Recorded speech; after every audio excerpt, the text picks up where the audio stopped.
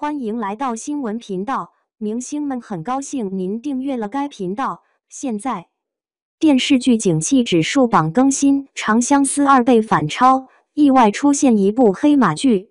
你们在看哪部电视剧呢？从目前的情况上看，《长相思》第二季的热度和关注度最高。但让大家没想到的是，电视剧景气指数榜单更新后，《长相思》第二季却被反超。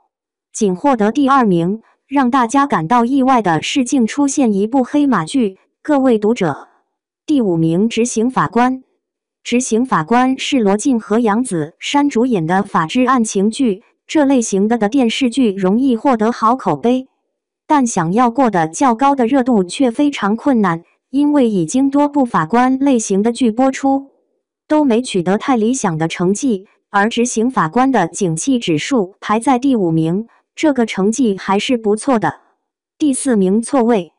错位刚刚播出，这部剧的题材比较特殊，是人性悬疑电视剧，主演是马伊琍、佟大为、高志廷、蓝盈莹等人。讲述的是在办案的过程中，发现作家顾己明的小说中描写的犯罪剧情，与他们正在调查的案件高度相似，虚构与现实相交错。让众人陷入迷雾之中。这部剧的主演阵容都是演技派演员。错位刚播出的时候，蓝盈莹饰演的苏真真成功吸引众人的注意。这个角色的人设太颠，最关键的是她还是个纯情的颠婆。第三名，你比星光美丽。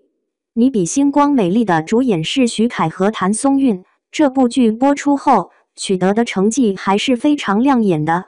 网友们直接给谭松韵做收视女王图，去年归路获得年关，而你比星光还美丽，直接创新高，CVB 零六百三十三，各项成绩都足以证明谭松韵的抗剧能力。第二名《长相思》第二季，看到《长相思》第二季仅排在第二名的时候，很多网友都忍不住问：这是怎么回事？《长相思》第一季绝对是当之无愧的爆剧。第一季大结局后，网友们开始期待第二季开播。截止到目前，《长相思》第二季累计有效播放量已超过三点五九亿，剧集均有效播放量超三千五百九十三点四万。因为剧集只有二十三集，所以这部剧出现断更的情况，对整体热度产生很大的影响。第一名，杜华年。看到杜华年在景气指数榜单中排名第一，很多网友都感到十分意外。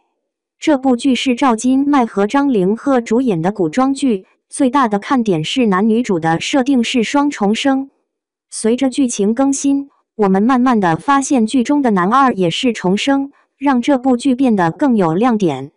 杜华年排在第一名，很有可能是因为片方开启超前点播。刺激舆论，带动景气指数。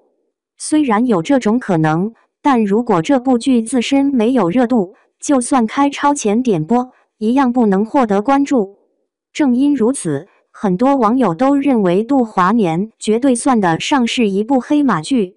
虽然剧播出的时候热度没有《长相思》第二季高，但这部剧的忠实观众还是很多的。《长相思》第一季大结局后。网友们就将《长相思》第二季放入待爆剧行列，但这部剧播出的时候却能被《度年华》反超，确实让很多网友感到不可思议。《长相思》因为一些特殊原因，导致第一季和第二季不能连续播放。看过原著小说的读者都知道，第二季有许多经典名场面，可惜第二季只有二十三集，很多经典剧情都被删减了。